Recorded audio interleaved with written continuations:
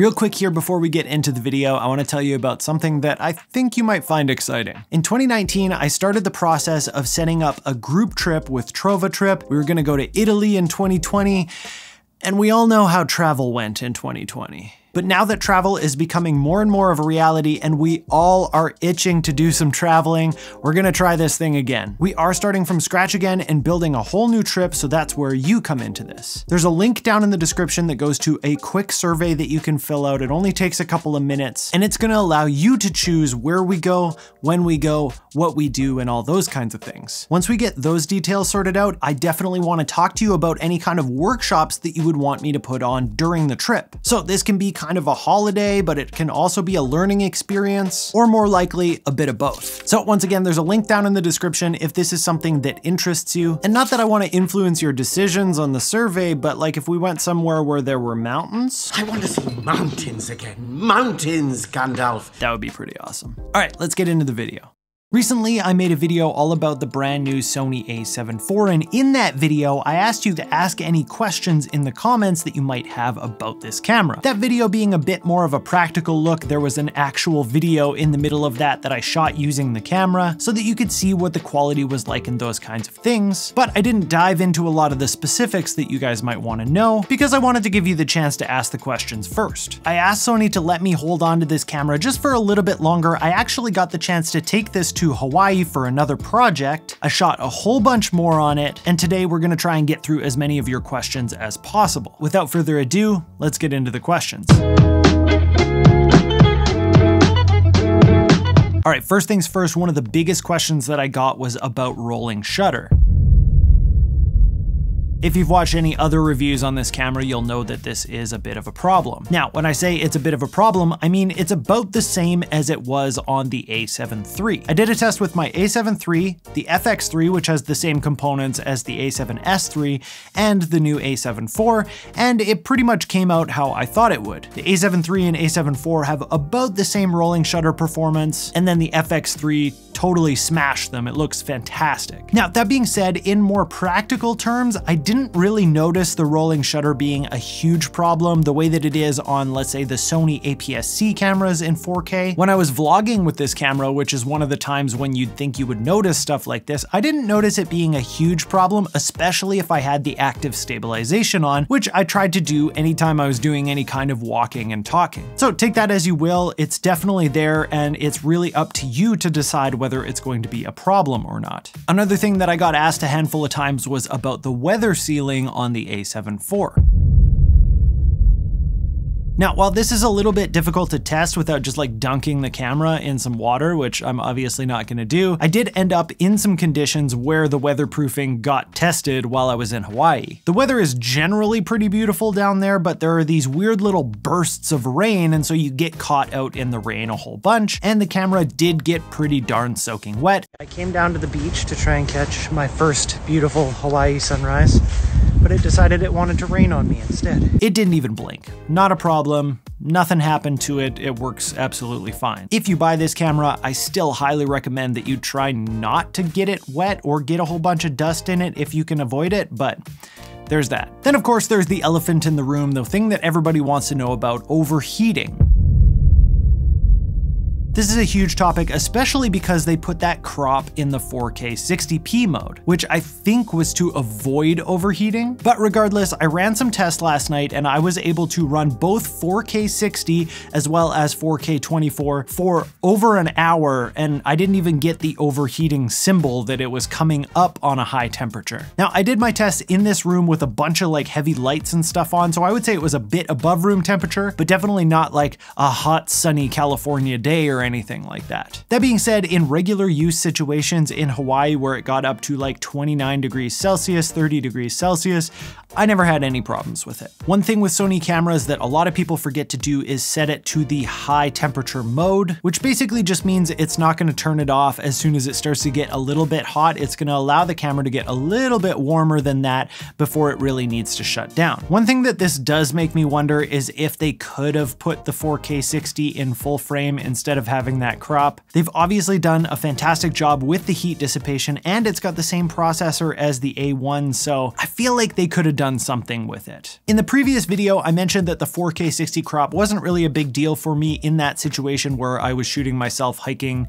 that kind of thing. But in my trip to Hawaii, where I was trying to film others, and there was one point where I was in a helicopter or in a car where it's nice tight space, even with a 16 to 35 lens on, that crop definitely did get in the way a handful of times. So again, it's a situation where it's like it is a problem, but you have to decide how much of a problem it is for you and the way that you shoot. One person in the previous video asked about the megapixel count for astrophotography.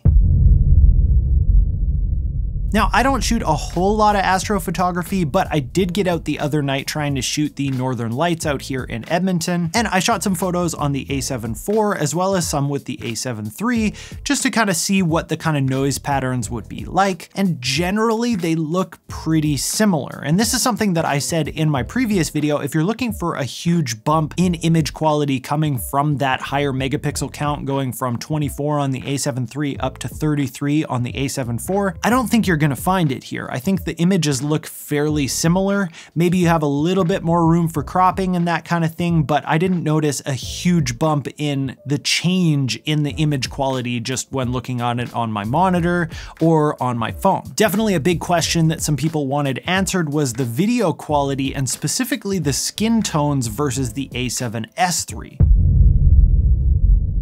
So I did a test here again with my a7 III, FX3, and the a7 IV to see how the skin tones and the video quality looked against each other. What I found is that there was a slight difference in the kind of skin tone quality. I made sure that they all had the same settings for this test. The a7 III seemed to be the most contrasty and saturated in just standard profile. The FX3 had a little bit less of that contrast and a little bit less saturation, but the a7 IV had a little bit more of a green hue to it comparatively to the other two. One other thing I noticed is when I initially did the test, I accidentally overexposed a little bit. And on the A7 III, it didn't handle that overexposure nicely at all. My skin tones got really messed up. Whereas on the A7 IV and the FX3, maybe because they're 10-bit codecs, but it definitely held up a lot better when I overexposed it. A couple people wanted to know what the 1080 looked like on the A7 IV.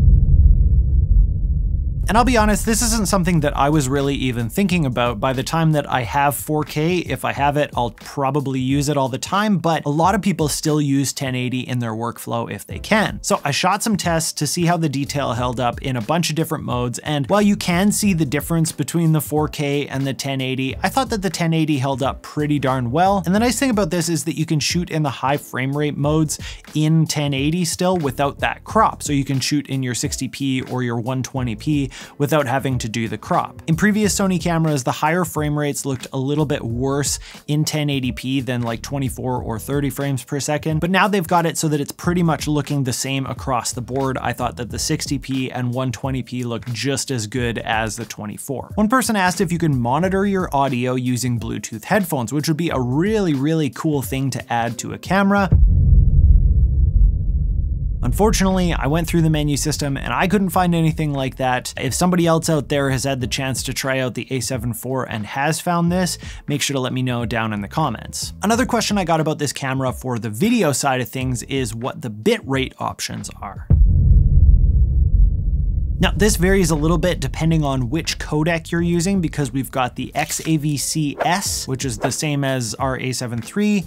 We've got XAVC-SI, which is an all intra, which is bigger files, higher bit rates, but you've got a little bit less work for the computer to do. And then we've got XAVC-HS, which is more compressed, but higher quality. So you've got smaller file sizes, but higher quality. So most of the time I'm using all intra, which is the XAVC-SI We've got 240 megabits per second if you're in 24 frames per second, 300 megabits per second if you're in 30 frames per second, and 600 megabits per second if you're in 60 frames per second. If you switch over to XAVC-S, which is the same codec that we were using on previous cameras, we now have it in 10-bit as well, which we saw on the A7S III and the A1. And if you're shooting 10-bit 422 in that XAVC-S, you're gonna see 100 megabits per second at 24 frames, you're gonna see 140 at 30 frames, and you're gonna see 200 megabits per second at 60 frames per second. I think I said that all right.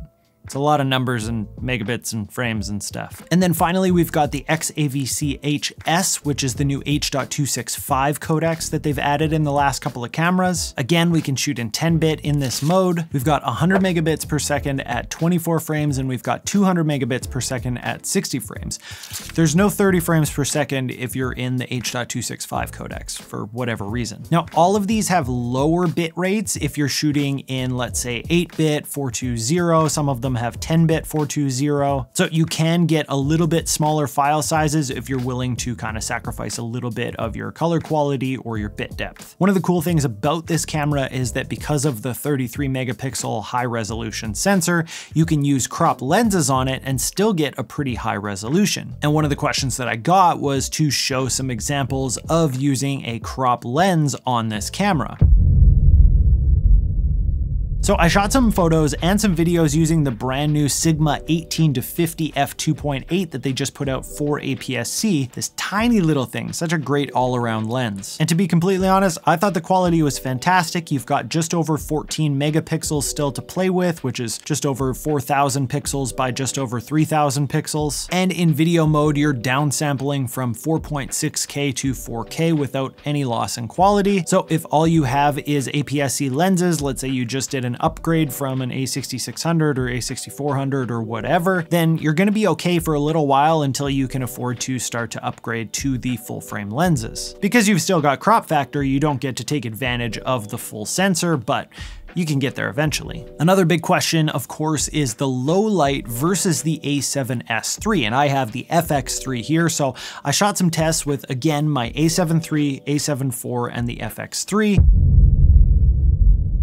The FX3 still, I think, is the best camera of all three of them, but the A7 IV held up pretty darn well. I found that the A7 IV had a lot less color shifting as I pushed up through the higher ISOs compared to the A7 III, which started to kind of shift in this kind of magenta way. If you've got a scene where 51,200 is the setting that you've got enough light to be able to see what's going on, I think that you're gonna do well. Where you'll still notice a bunch of noise is if there there is anything in that scene where it's still dark. So for example, in the scene that I shot at 51,200, the image looks pretty good on this white part here, but as soon as you look into the deep dark shadows, you're still gonna see a bunch of noise. The noise on the A7 IV and A7 III, like I said, was similar except for that color shift. And then on the FX3, it held up, in my opinion, a little bit better at those higher ISOs, which makes sense because you've got a lower megapixel sensor. So each photo site is better better at collecting that light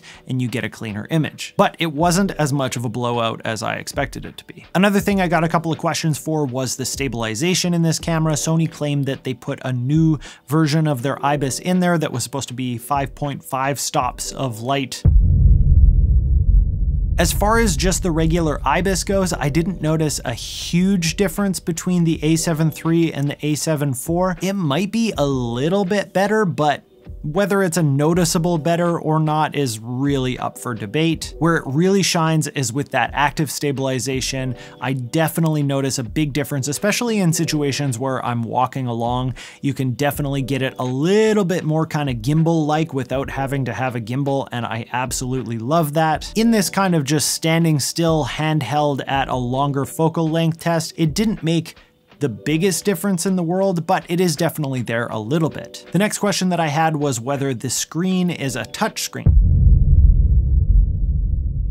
So we've got the new flip out screen on the A7 IV and it is absolutely a touchscreen. One of my favorite features is that the touchscreen actually works in the menus now. This is something even on the A7 III that did have a touchscreen. The touchscreen didn't work in the menus, so it was only usable for like getting your focus. Now the touchscreen is first of all much more responsive, a much better touchscreen than it was before, and like I said, it works in the menus too, so you can go through and just touch the things that you need. The next question I had was whether there was an inter intervalometer mode in the A7 IV And yes, there absolutely is. There was a period in Sony camera history where they didn't have it. Uh, and then before that, it was an app that you could buy that you could add in, or there was like a hack that they had for the A6500. But now it's just built straight in. You've got lots of options in there. There's exposure tracking. There's a bunch of different settings for how long you want your intervalometer to be, how long you want your initial delay to be, all that kind of stuff. It's quite handy. I actually used it the other day to shoot a time lapse of the Northern Lights. Unfortunately, it doesn't make you a video preview of your time lapse, though if you do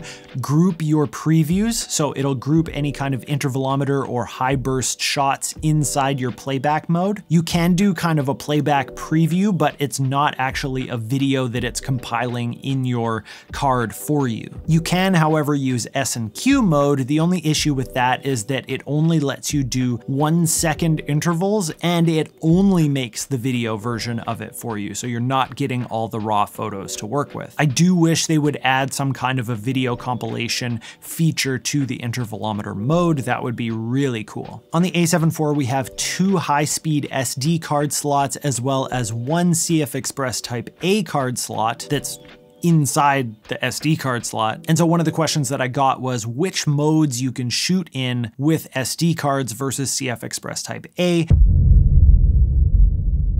This is a question that came up a lot with the A7S III and the FX3. There were certain modes that you needed the speed of the CFexpress Type A card. In this one, I would personally say you probably don't need anything faster than a V90 SD card. In fact, even on my FX3, I only shoot with V90 SD cards. I don't think I've run into any modes where you actually need a CFexpress Type A card on the A7 IV.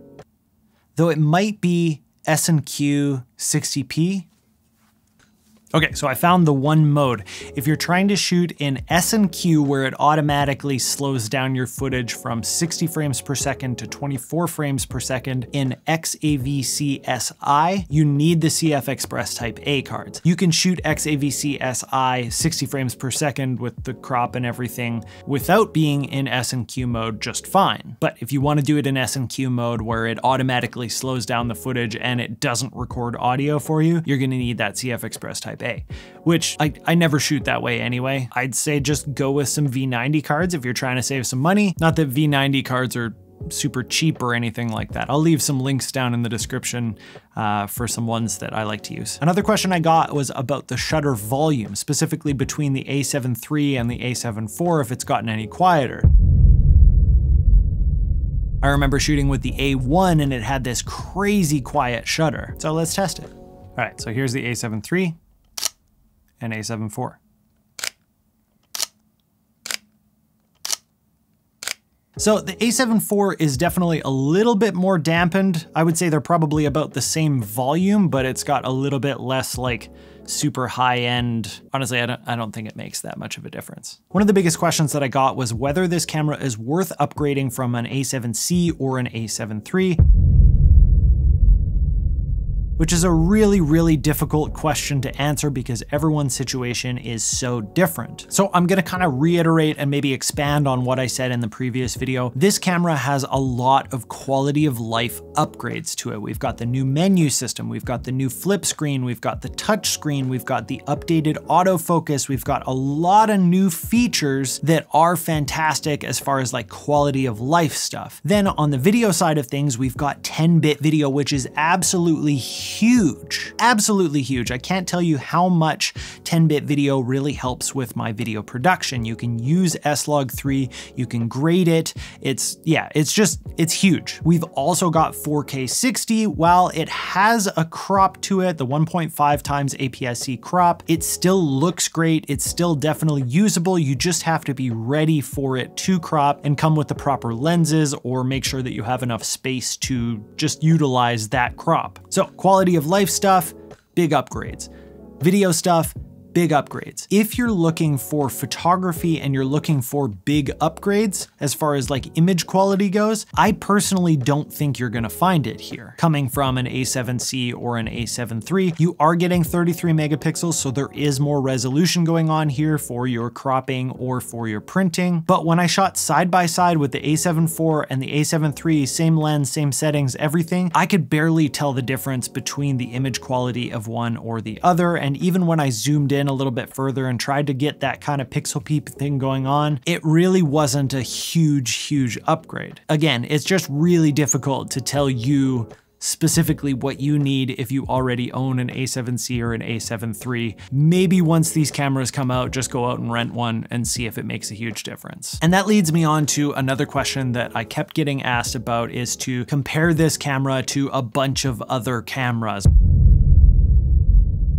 whether it be the R6, which is in the same kind of price category. We've got the new Nikons. We've got all sorts of different cameras that you guys wanted me to compare this to. Unfortunately, I don't have all those cameras, nor do I have access to all those cameras. What I really would suggest that you do is go take a look at some other reviews that look at those cameras and try your best to maybe pull them both up on the screen with my review or somebody else's review. See if you can spot some image quality differences. Make sure you know what the difference are in the specs and the things that are important to you. Like for some people, that 4K 60 crop on the a7 IV is a deal breaker. No way. Whereas on the Canon cameras, they don't have the crop, but they might have some problems with overheating. Maybe you're only shooting in short bursts and overheating isn't going to be an issue for you in that situation. You would rather have that full sensor readout. This is all going to be a personal preference thing, and I highly recommend that you go and really do some digging so that you understand these cameras or or if you can, get out there and rent them, use them,